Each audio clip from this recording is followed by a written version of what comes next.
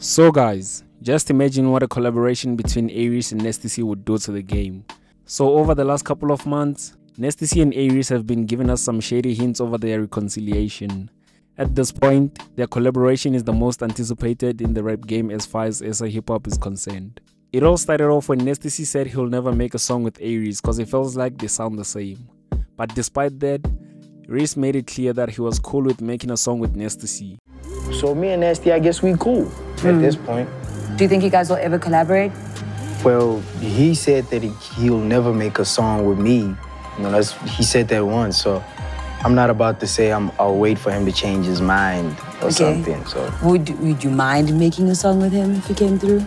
I don't mind. Mm. I really don't mind. Okay. I'd like to assume that that's where their beef started. Reece then went on to address this whole conspiracy of him sounding the same as Nasty C on a freestyle with MTV Base, saying he doesn't sound like David at all. Look, first of all, let me get one thing clear. I do not sound like David, get the f out of here. I'm the best to ever do it, I'm the king, I'm the heir, and it's a reason. Then following that, they just would subliminally throw shots at each other on songs, which most of the time would cause so much frenzy as it always confused their fans. And that became the defining moment for their red beef, which according to Nasty C is called Petty Spaghetti. Then fast forward to 2019, Nasty C hosted the Ivyson tour which had so much hype around it. Ivyson decided to book A-Reece and even posted a video showing off how happy he was that he was gonna be joined by A-Reece on stage at his tour. Also, I want to let you know that the boy is coming on the Ivyson tour. My boy A-Reece is coming on the Ivyson tour. So what am I'm about to do right now, I'm about to go in the studio. I'm about to decide. I'm about to go. You know what I'm saying? I'm about to ship it over to that boy. You know what I'm saying? We're about to doodle on that bitch. You know what I'm saying? Excuse me. I saw that unexpected raised so much anticipation among fans and caused so much excitement, as it seemed as if their biggest rivals in rap have finally sorted out their differences and were directed towards unity. That became a powerful statement about maturity and the shared love for the craft, creating a positive buzz within their fan bases. It was expected to influence a shift in the rap game's culture by emphasizing collaboration over competition. Unfortunately, things didn't go as planned as A-Reece decided to pull up late at the show. So he was meant to perform just before Nasty C who was the closing act at the show. So A-Reece pulled up to the show late in which he found Nasty C on stage and tried to perform while Nasty C was on stage. As expected, that couldn't happen as that was Nasty C's show and he was supposed to close it. What happened with the Ivyson tour was I arrived, I think I, I, I arrived late, I think I arrived late, right? And then, but I was like, I told like my manager, my booking manager to be like, yo, just tell him, even if we late, tell him I could do one song. Even if Nasty's on stage, I could get on stage, do one song while he's there, and then I'll get off, and then that's it. And I think that couldn't happen. So we were still at the parking lot while everything was happening at the show, and we were like, we had nothing to do because they said no. So I think it was Nasty C's manager. I don't know who it was, but his staff, one of the members of his staff said that cannot happen. And we went to the back. We tried to go in from the back, you know what I mean? I mean, the fans even saw us. We appeared out there. I think they even saw us too, but it's just we couldn't bombard the whole place and just start, you know, stepping on stage and doing our thing. So I just, that's what happened. I, I really didn't like intentionally not go. Exactly that. The media made a frenzy out of this and then it made me look a certain way. And I think especially to Nasty C. I'm a person not to fight that type of shit because, hey man, it is what it is. I don't give a f about who says what on Twitter or Instagram, you know what I mean? But I can, I can see why it looked like that. I don't feel like going out to mend things with anybody. I feel like I'm in a great space. Like, so I don't feel like I'm obliged to make anything work. I mean, if things should work, then fuck it, the Murphy's Law, man. What happens, happens, bro.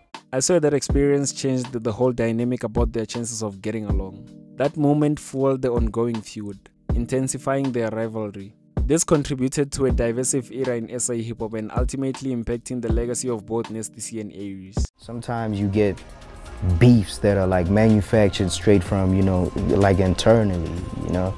Like just like the beef with me and Nasty C.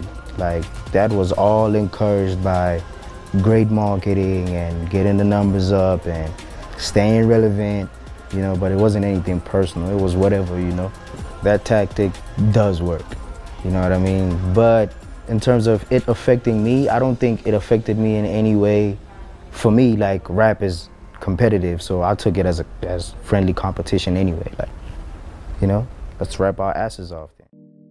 Moving forward, A-Reece went as far as throwing shots at Nasty C during a freestyle with so called ciphers, as he went on to say, They're underhandedly asking me for some help. Fuck them all, they're just relying on me for some clientele. Yeah, they're only friends when they got some tickets to sell. In this, he was just emphasizing the fact that some people only act as friends when they need assistance intending that Nasty C only acted as his friend so he can just get more people to buy tickets and attend his show. That made things even worse. Over the last couple of months, Nasty C exposed on El Tito's podcast how he felt about that whole situation of A-Reece pulling up to his show late.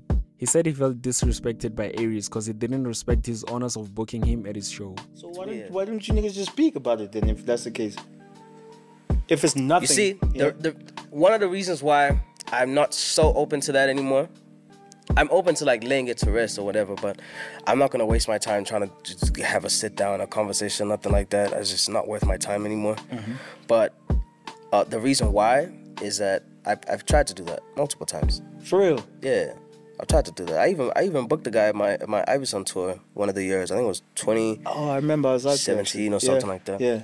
Yeah, I, I, booked him for that. I was like, yo, I DM'd him. I was like, yo, listen, this is dumb. This let's let's fucking just you know yeah. put this thing to rest. We don't even know what the fuck this thing is. Mm-hmm.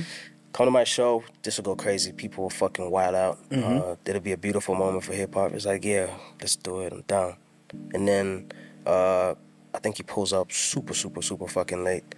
And wants to go on after me. I'm like, you're fucking crazy. This is my show. You're not gonna close my show. You out of your mind. Mm. You understand? So mm-hmm. it's like to me, I took that as, as a sign of disrespect. So I was like, all right, you know what? That settles it. That's that shows me your true intentions. Because right now I'm like, yo, I'm not even gonna be a rapper with you. Ngumchita right now, umchita fethu. You understand? Like makuthi unenkinga nami like okay, acacaphe phela type of vibe. But it's like if if there's nothing, let's just fucking work, man. Let's make some money, dog. Mm-hmm. Understand? And and that wasn't the case with him. So I was like, all right, okay, I sick. Yeah. And it's like it is what it is, you know. And then like I said on that song, it's like, yo, wherever we go from now on, it's fine. Fuck it. I'm not gonna try and be the bigger person and all mm-hmm. that stuff. It's like, it's like I don't care anymore. That's crazy, bro. I won't mention all the shots they have thrown at each other just for the purpose of the length of this video. But going forward, at some point, Nasty C had made it clear during a freestyle that he tried to squash his beef with A-Reece, and again mentioned how he's cool with Reece's ex-homies. Also talked about not being able to put his trust in them because they were once cool with his rival. You know I tried to squash that shit with A-Reece, but I fuck with 25 and I fuck with Flame. And a lot of other dope artists that fuck with him, but I be dumb as fuck to ever put my trust in them. Moving forward, after releasing his third studio album, A-Reece went on to post on X to say, Nasty is bigger than British drill rapper Central Cee. And that was after the South African rugby team defeated the British rugby team, and people just started comparing their favorite South African acts to British acts.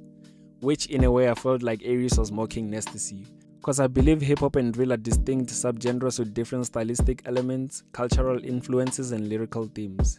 Hip hop often encompasses a broad range of styles, while drill originating from Chicago is characterized by its aggressive beats and street oriented lyrics. When a rapper from one subgenre is compared to another, it may imply a lack of understanding of the nuances within hip hop. Such comparisons can be dismissive and may not acknowledge the unique contributions of each subgenre. So that's the reason why I think the tweet was more of a mock or shade than actually showing love to Nasty C. I know a lot of people received that as showing love and no one picked it up as a mock which I think A-Reece did deliberately, and I think Nasty C picked that up. Then, when coming to Nasty C's side, he's also been moving sketchy. From posting on Facebook about him against A-Reece, with which the A-Reece is not even written in full, to playing his latest album, Paradise 2, on his Twitch live video, and also going on to say he's not stupid to be playing that album, and of course, he can hear that he's playing A-Reece. By the way, relax. I can hear it. I'm not. I'm not deaf. I'm not dumb. I'm not stupid.